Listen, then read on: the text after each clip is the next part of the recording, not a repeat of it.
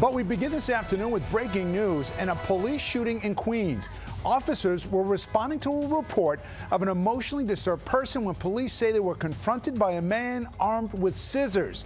That's when officers opened fire, killing that man. Now, we are expecting an update from police at any minute now. You can see them stepping up to the podium. Eyewitness News reporter Joe Torres is in Ozone Park with breaking news. Joe.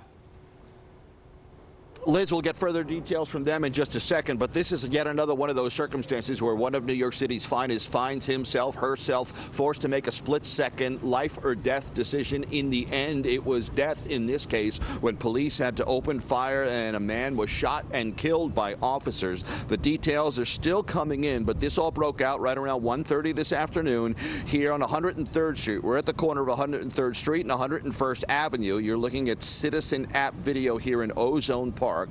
The officers initially responded to the address following a phone call from a mom complaining and talking about her son, an emotionally disturbed son who was acting erratically. Well, the officers arrived here on the scene, and what they encountered was a 19-year-old man holding, wielding actually, a pair of scissors.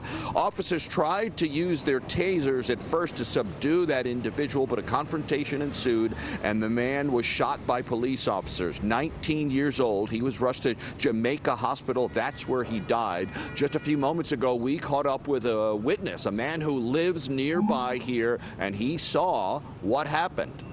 I saw them go to the first house, knock on the door, and uh, eventually somebody I just let him in. Then you heard yelling, and then the next thing you heard, you heard a shot. And then uh, after that, it was a little bit of silence, and then you heard more shots. It's a terrible decisions that they have to make every single day. That sometimes result in life and death. Right, right.